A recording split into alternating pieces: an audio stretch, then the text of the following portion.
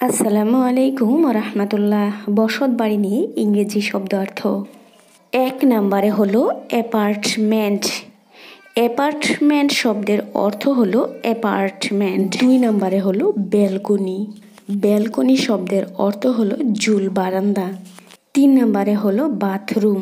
Bathroom শব্দের অর্থ হলো স্নানঘর বা গোসলখানা। চার নম্বরে হলো বার্ন। বার্ন শব্দের অর্থ হলো গোলাঘর।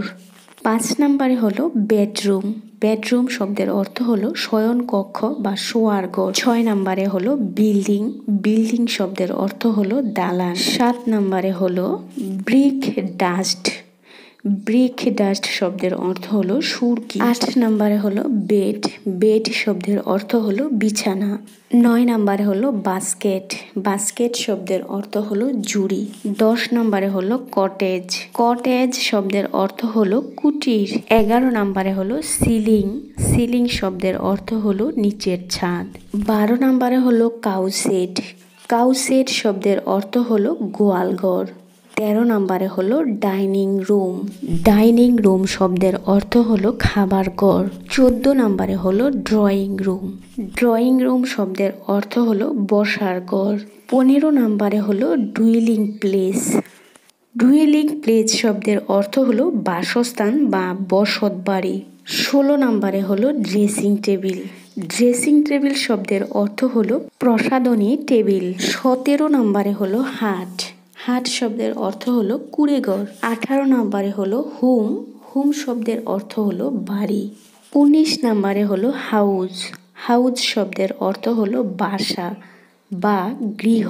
বিশ নম্বরে হলো হোস্টেল হোস্টেল শব্দের অর্থ হলো ছাত্রাবাস।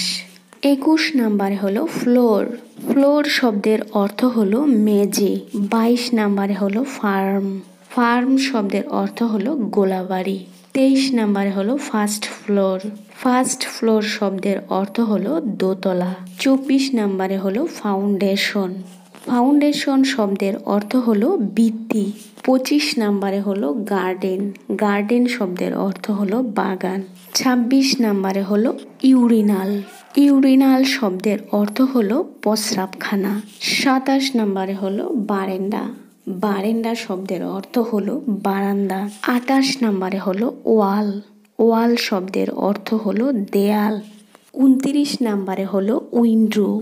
উইন্ডো শব্দের অর্থ হলো জানালা। তিরিশ নাম্বারে হলো ইয়ার্ড। ইয়ার্ড শব্দের অর্থ হলো উঠান। একত্রিশ নাম্বারে হলো ডোর।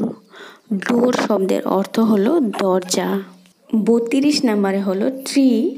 ট্রি শব্দের অর্থ হলো গাছ।